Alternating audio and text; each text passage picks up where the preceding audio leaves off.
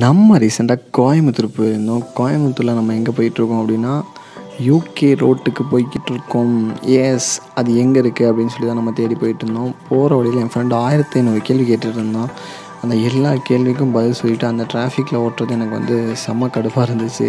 கை கால் வலி வேறு. அந்த ஆர் ஒன் ஃபைவ் ஓட்டுறதுக்கு எனக்கு வந்து கை வலியே வந்துருச்சு. ஏன்னா அந்த ரோட்டில் வந்து நிறையா குழியும் குண்டு குழியுமாக இருந்துச்சு.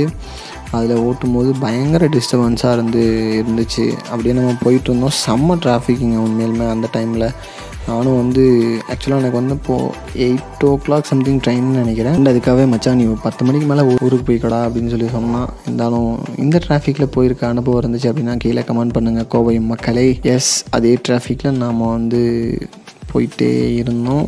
எப்படா வரும் அப்படின்னு கேட்டேன். தோ கிலோமீட்டர் மச்சான் அப்படின்னா தோ கிலோமீட்டர் தோ கிலோமீட்டர்னு சொல்லி நாங்கள் போன கிலோமீட்டர் வந்து ஒரு இருபது கிலோமீட்டருக்கு பக்கம் கூட்டிகிட்டு போயிட்டான். காடு மலை அப்படின்னு சொல்லிட்டு எல்லா பக்கமும் கூட்டிகிட்டு போகிறான் டேய் நான் கேட்ட ரோடு எங்கடா அப்படின்னு ஃபைனலாக வந்து ஒரு பாலத்து உக்கடம் பாலத்தில் வந்து மேலே போனோம். மேலே போகும்போது வந்து அந்த நைட் வியூவும் வந்து வீடியோ எடுத்துகிட்டு ஃபைனலாக போயாச்சு.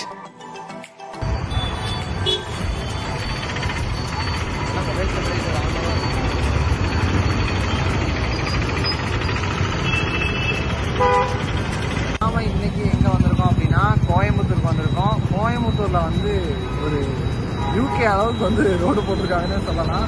அந்த அளவுக்கு இல்லைனாலும் ஏதோ ஒரு அளவுக்கு இருக்குது அங்கே தான் நம்ம இன்றைக்கி வந்திருக்கோம். அதோட பின்னாடி வியூ பார்த்தீங்க அப்படின்னாலே நல்லாவே தெரியும். அப்படியே ரோட்டை காமிங்க